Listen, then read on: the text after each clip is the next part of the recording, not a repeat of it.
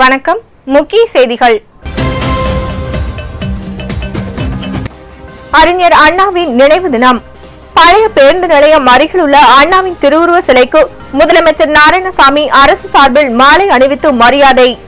தொடர்ந்து காங்கிரஸ் கட்சி நிர்வாகிகள் மற்றும் உறுப்பினர்களும் மாலை அணிவித்து மரியாதை. புதுச்சேரியில் நகல் எரிப்பு போராட்டத்தில் ஈடுபட்ட அனைத்து தொழிற்சங்கத்தினர். மத்திய அரசு கார்ப்பரேட் நிறுவனங்களுக்கு ஆதரவாக செயல்படுவதாகவும் தொழிலாளர் சட்டங்கள் ஒழிக்கப்பட்டு விட்டதாகவும் விவசாயிகளின் முதுகெலும்பை உடைக்கும் மூன்று வேளாண் சட்டங்களை எதிர்த்தும் நாடு தழுவிய அளவில் மத்திய தொழிற்சங்கத்தினர் நகல் எரிப்பு போராட்டத்தில் ஈடுபட்டனர். வரி சலுகைகள் பொதுத்துறை வங்கிகள் விற்பனை தனியார் மயம் உள்ளிட்டவையால் நாட்டின் பொருளாதாரம் கொள்ளையடிக்கப்பட்டுள்ளதாகவும் குற்றச்சாட்டு. மிஷன் வீதியில் உள்ள வஉசி பள்ளி அருகில் நடைபெற்ற போராட்டத்தில் அனைத்து தொழிற்சங்கத்தினரும் பங்கேற்பு. போராட்டத்தின் பொழுது நகல் எரிக்க முற்பட்டவர்களுக்கும் காவல்துறையினருக்கும் இடையே தள்ளுமுள்ளு ஏற்பட்டதால் பரபரப்பு. புதுச்சேரியில் காதல் போட்டியில் பள்ளி மாணவனை தாக்கிய மூன்று நபர்களை காவல்துறையினர் கைது செய்து சிறையில் அடைத்தனர். வி. மணவெளி பகுதியைச் சேர்ந்த பள்ளி மாணவியும் பதினொன்றாம் வகுப்பு மாணவருக்கும் இடையே காதல் ஏற்பட்டது. மாணவி வசிக்கும் பகுதியில் உள்ள வாலிபரும் மாணவியை காதலிப்பதாக தெரிவித்து பள்ளி மாணவனை தாக்கியதால் மாணவன் காவல்துறையினரிடம் வழக்கு பதிவு செய்தார். மாணவனை தாக்கிய திலீப் குமார் மற்றும் அவரின் நண்பர்களை காவல்துறையினர் கைது செய்து சிறையில் அடைத்தனர். மேலும் இரண்டு நபர்கள் மீதும் ஆறு பிரிவின் கீழ் வழக்கு பதிவு செய்து காவலர்கள் நடவடிக்கை எடுத்தனர். புதுச்சேரியில் தலைக்கவசம் அணியாமல் சென்ற வாகன ஓட்டிகளிடம் காவல்துறையினர் அபராதம் விதிப்பு. தலைக்கவசம் அணிவது பாதுகாப்பானது என்றாலும் நகர்ப்பகுதியில் உள்ள சாலைகள் அனைத்தும் சேதமடைந்து உள்ளதால் சாலைகளை சீர் செய்த பின்னர் அபராதம் விதிக்க வாகன ஓட்டிகள் வலியுறுத்தல். காவல்துறையினரின் அபராத செயலால் செஞ்ச சாலை எஸ் படேல் சாலை உள்ளிட்ட பகுதிகளில் வாகன ஓட்டிகள் திடீர் சாலை மறியல். போராட்டத்தில் காவல்துறையினர் பேச்சுவார்த்தையில் ஈடுபட்ட பொழுது காவல்துறையினருக்கும் பொதுமக்களுக்கும் இடையே தள்ளுமுள்ளு ஏற்பட்டதால் பரபரப்பு. போராட்டத்தின் ஒரு பகுதியாக மாநிலத்தில் பல மடங்கு அபராதம் விதிக்கும் காவல்துறை அதிகாரிகள் மற்றும் துணைநிலை ஆளுநரை கண்டிக்கும் வகையில் போராட்டக்காரர்கள் சாலையில் துணியை விரித்து பிச்சை எடுக்கும் நூதன போராட்டத்தில் ஈடுபட்டு தங்களின் எதிர்ப்பை தெரிவித்தது குறிப்பிடத்தக்கது.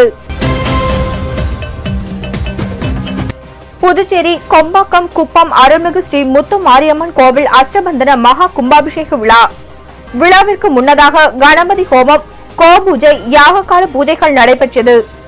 யாககால பூஜைகளை தொடர்ந்து நடைபெற்ற கும்பாபிஷேக விழாவில் திரளான பக்தர்கள் கலந்து கொண்டு சுவாமி தரிசனம். காங்கிரஸ் கூட்டணி கட்சியினரின் ஆலோசனை கூட்டம் முதலியார்பேட்டை இந்திய கம்யூனிஸ்ட் தலைமை அலுவலகத்தில் நடைபெற்றது. கூட்டத்தில் முதலமைச்சர் நாராயணசாமி காங்கிரஸ் கட்சி தலைவர் ஏ வி சுப்பிரமணியம் இந்திய கம்யூனிஸ்ட் மாநில செயலாளர் சலீம் உள்ளிட்டோர் பங்கேற்பு.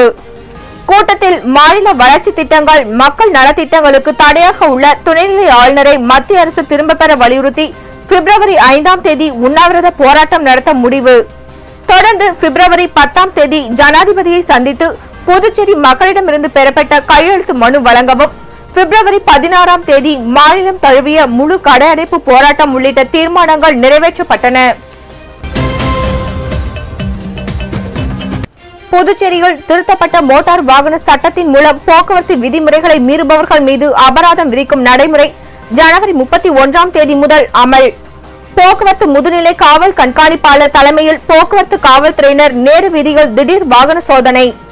தலைக்கவசம் அணியாமல் சென்ற வாகன ஓட்டிகள் மற்றும் இரண்டு நபர்களுக்கு மேல் சென்ற வாகன ஓட்டிகளிடம் அபராதம் விதிப்பு. புதுச்சேரி மாநில பழங்குடி மக்களின் அடிப்படை தேவைகள் குறித்து ஆலோசனை கூட்டம். தலைமை செயலகத்தில் நடைபெற்ற கூட்டத்தில் அமைச்சர் கந்தசாமி துறை அதிகாரிகள் பங்கேற்பு.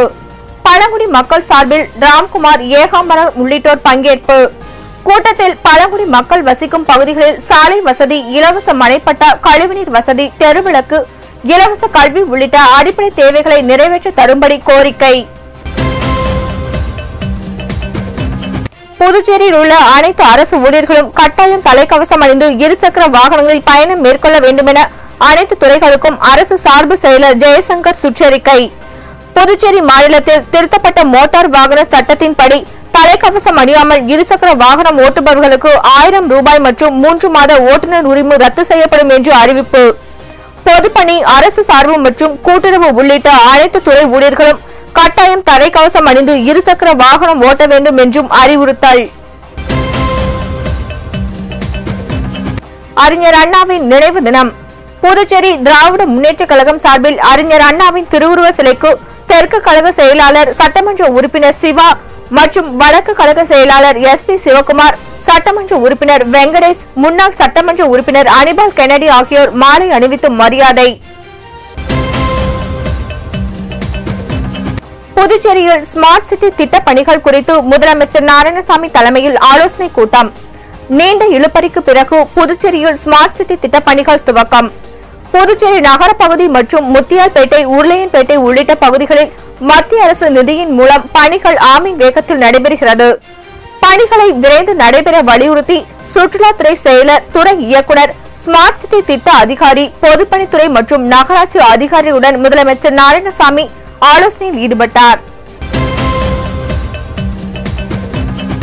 கோரிமேடு காவல்துறை சமுதாய நலக்கூடத்தில் காவலர்கள் குறைகேட்பு முகாம். முகாமில் முதுநிலை காவல் கண்காணிப்பாளர் பிரதீக்ஷா கோத்ரா வடக்கு பகுதி காவல் கண்காணிப்பாளர் சுபம் சுந்தர் கோஷ் பங்கேற்பு. ஆய்வாளர்கள் உதவி ஆய்வாளர்கள் தலைமை காவலர்கள் பெண் காவலர்கள் உள்ளிட்டோர் குறை கேட்பு முகாமில் பங்கேற்று குறைகளை தெரிவித்தனர். பேரறிஞர் அண்ணாவின் நினைவு தினம்.